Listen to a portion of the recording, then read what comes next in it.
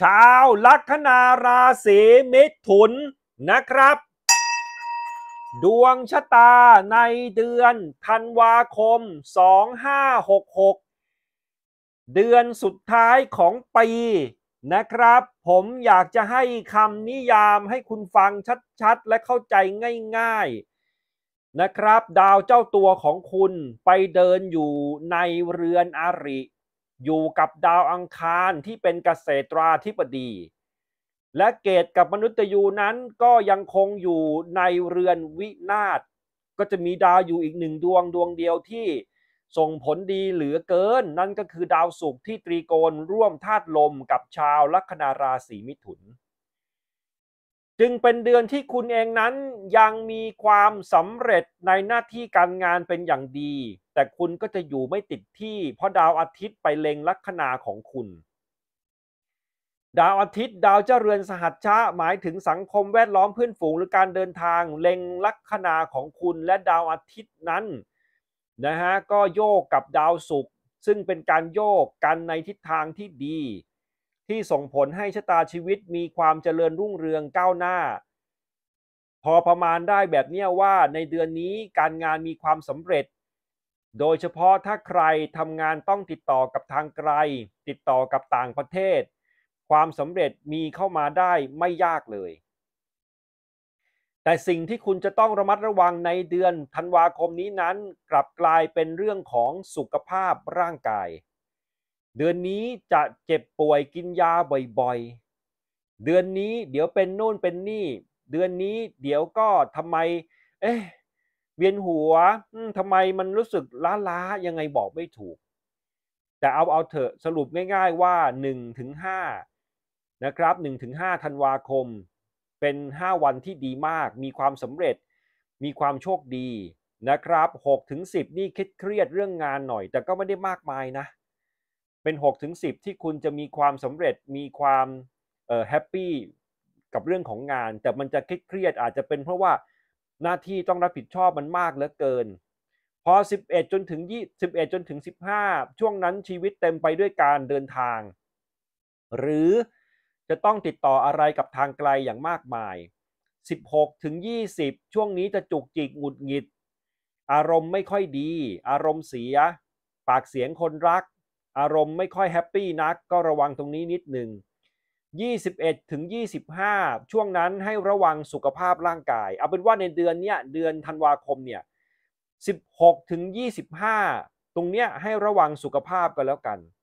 มีโอกาสเจ็บป่วยไม่สบายกินยาได้ง่ายนะครับ แล้วก็ 26 จนถึง 31 ก็แฮปปี้สบายๆชิลๆนะ ดาวอีกดวงหนึ่งที่ส่งผลดีกับคุณอย่างมากมาย นั่นก็คือดาวพฤหัสที่ไปอยู่ในตำแหน่งโยกหลังได้ราชาโชค ส่วนดาวอาทิตย์ก็ไปอยู่ในเรือนพฤหัสพฤหัสไปโยกหลังได้ราชาโชค คุณหาเงินได้ดีมากในเดือนนี้ เป็นเดือนที่คุณมีความรู้สึกว่าเราหาเงินหาทองได้คล่อง เป็นเดือนที่เรามีความรู้สึกว่าหลายสิ่งหลายอย่าง มันไม่ยากนะครับ เราสามารถที่จะคอนโทรลหลายสิ่งหลายอย่างได้ดีมาก โดยเฉพาะในเรื่องของการงาน นะ ในเรื่องของการเงินนั้นนะครับ มันจะมีทั้งเงินที่คุณได้อยู่เป็นประจำ แล้วก็ลาบผลพิเศษที่จะมีเข้ามา เป็นลาบผลที่ทำให้คุณเองนั้น หยิบจับอะไรก็เป็นเงินเป็นทอง หรือกับมีคนยื่นหยิบยื่นสิ่งที่ดีให้กับคุณ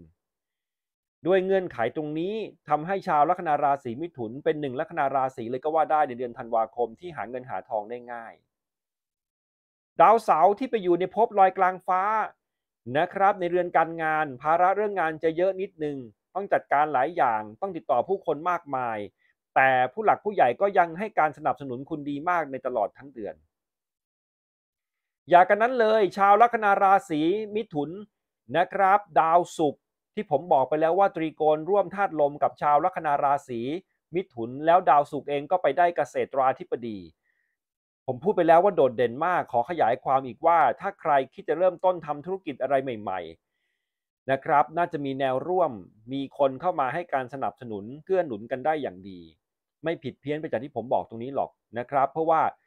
ดาวมันส่งผลดีมาก โดยเฉพาะใครถ้าเกิดจะไปทำธุรกิจเกี่ยวกับออนไลน์ อุปโภคบริโภค เสื้อผ้าของสวยงาม เครื่องแต่งกายเอ่อเครื่องบำรุงความงามอะไรต่างๆ ถ้าอยู่ในไทป์นี้นะ แล้วคุณเป็นชาวลัคนาราศีมิถุนนะ โอกาสสำเร็จนั้นสูงมาก จะไปทำเกี่ยวเรื่องอาหารการกินอะไรก็จะมีความสำเร็จดีด้วยอิทธิพลรอบวงโคจรตามที่สินแสหมิงได้อธิบายให้ฟังไปแล้ว แล้วก็ดาวศุกร์เองก็ไปเล็งกับดาวพฤหัสศุกร์กับพฤหัสเป็นคู่ทรัพย์สินพฤหัสโยกหลัง ถึงบอกไงว่าเดือนนี้คุณจะหาเงินหาทองได้คล่องนะครับ หรือใครที่มีโปรเจกต์มีแผนจะทำธุรกิจทางไกลหรือต่างประเทศ การขนส่ง หรือว่าธุรกิจอะไรที่มันเกี่ยวเรื่องของออการซื้อมาขายไปสำเร็จมาก ใครที่จะไปอยู่ในงานที่เกี่ยวข้องกับเรื่องของการเดินทาง เช่น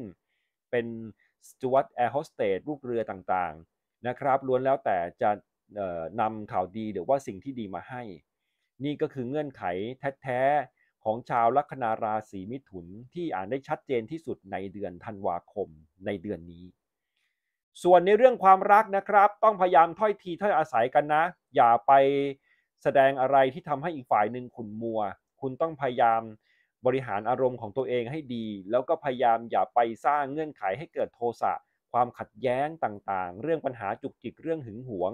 หงุดหงิดมาก ถ้าสิ่งเหล่านี้เข้ามาสัมพันธ์ในชีวิตคุณ โดยเฉพาะตั้งแต่วันที่ 15 จนถึง 25 10 วันตรงนี้ให้เลี่ยงการทะเลาะเบาแวง จริง ๆ มันคนเลี่ยงทุกช่วงแหละ มันจะได้ไม่ต้องปวดหัว แต่ช่วงนี้มากเป็นพิเศษคือให้ระวังให้เลี่ยงความขัดแย้ง อย่าไปสร้างเงื่อนไขใด ๆ ให้อีกฝ่ายหนึ่งไม่พอใจนะครับ เพราะว่าเป็นช่วงที่คุณต้องระวังในสิ่งเหล่านี้นะครับ เกี่ยวกับเรื่องของความขัดแย้งปากเสียงต่างๆ ส่วนคนที่ยังโสด มีโอกาสมีคนมาเจอเจอมาชอบพอกัน และเป็นคนที่รูปร่างลักษณะหน้าตาดีด้วย ไปดูก็แล้วกัน มีโอกาสที่จะมีความรักแบบนั้นเข้ามานะครับ สำหรับท่านที่สอบถามมานะครับ ต้องการขอคำปรึกษาเกี่ยวกับเรื่องของฮวงจุ้ยบ้านออฟฟิศอาคารคอนโดฮวงจุ้ยกำลังจะเปลี่ยนแปลงจากยุคที่ 8 เป็นยุคที่ 9 แล้วนะครับ ผมเชื่อมั่นว่า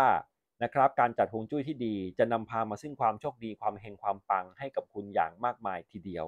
ฮวงจุ้ยสินแสหมิงทั้งเอาเข็มทิศจีนไปวัดที่องศาที่สถานที่จริง ถึงจะบอกออกมาได้ว่าจัดอย่างไรให้เฮงให้ปัง รวมไปถึงรวมไปถึงนะครับ โง่เฮงบนใบหน้าและดวงชะตาส่วนตัว สอบถามรายละเอียดได้ทาง Line Official ID ที่ปรากฏอยู่ด้านบน เดี๋ยวแอดมินเจ้าหน้าที่เขาจะแจ้งรายละเอียดให้ สินแสหมิงขอให้ชาวลัคนาราศีมิถุนทุกท่านโชคดีนะ สวัสดีครับ